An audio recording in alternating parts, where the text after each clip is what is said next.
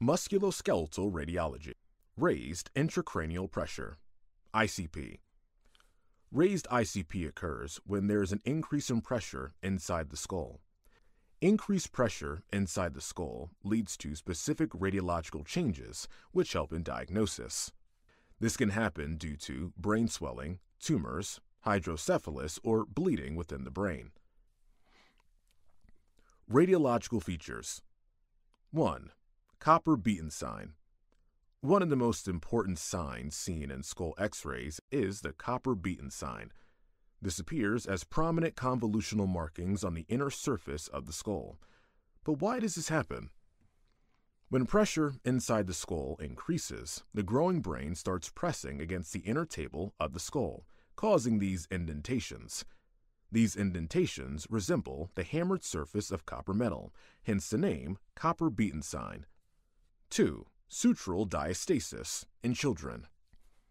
In children, raised ICP can cause widening of skull sutures, a condition known as sutural diastasis. This happens because the sutures in children's skulls are not yet fused, so increased pressure pushes them apart. This is an important radiological clue in pediatric cases. 3. Erosion of dorsum sella in adults. In adults, raised ICP can cause erosion of the dorsum sella, which is part of the sphenoid bone that surrounds the pituitary gland. This erosion occurs due to persistent pressure on the sella turcica, an important structure at the base of the skull. Convolutional markings are seen throughout the skull vault, suggestive of a copper beaten skull appearance. Acromegaly. Acromegaly is a condition that occurs when the body produces too much growth hormone, GH, after the bones have stopped growing. This is different from gigantism, which occurs before growth plate fusion and leads to excessive height. The most common cause is a pituitary adenoma, a benign tumor of the pituitary gland that secretes excess GH. Clinical features Acromegaly primarily affects bones, soft tissues, and facial structures. Let's go over the key clinical features. 1. Overgrowth of distal phalanges, spade phalanx. One of the hallmark signs is the overgrowth of the distal phalanges of the fingers. This gives the fingers a broad, thickened appearance, often referred to as a spade phalanx because they resemble the shape of a spade.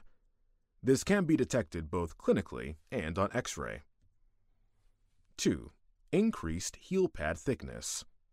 Acromegaly also leads to increased thickness of the heel pad, which can be measured radiologically. The normal heel pad thickness is less than 23 millimeters in females and less than 25 millimeters in males. In acromegaly, it exceeds these values, helping in diagnosis. 3.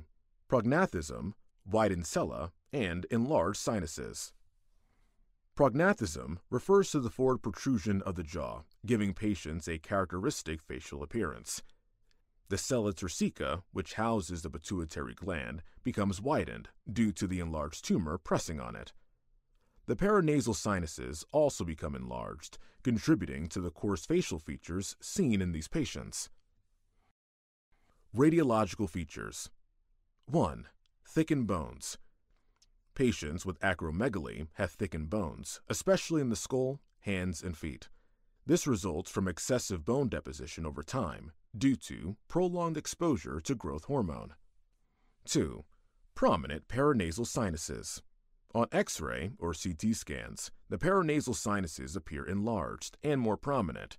This is a direct result of bone overgrowth and expansion of air spaces in the skull. AP and lateral view of bilateral hand and foot show a typical spade like appearance due to prominent subungual tufts. Shafts of metacarpal, tarsal, and phalanges appear widened. Metacarpal head appear enlarged and thickened along the margins, simulating beak-like osteophytes. Paget's disease of bone. Chronic disorder that affects the normal bone remodeling process, leading to abnormal bone formation and structural changes. Clinical features. Paget's disease can affect any bone, but the most commonly involved areas include the skull, spine, pelvis, and long bones. Patients may experience visual or hearing loss due to cranial nerve compression when the skull is affected. Enlarged head size, a characteristic finding known as the Tam O'Shanter sign, named after a traditional Scottish cap that appears oversized, much like the growing skull in Paget's disease. Radiological features 1. Skull findings. Cotton wool skull. This refers to multiple sclerotic spots seen in the skull, giving it a patchy, cotton wool like appearance on x rays. Osteoporosis circumscripta. This appears as large lytic areas in the skull, representing early destructive changes. Lateral skull of an older adult woman with Paget disease. Note the thickened table of the skull, the areas of lytic mixed with sclerotic bone, and the appearance of cotton wool spots or circular densities of sclerotic bone, so characteristic of Paget disease. 2. Long bone findings. Blade of grass sign or candle flame sign.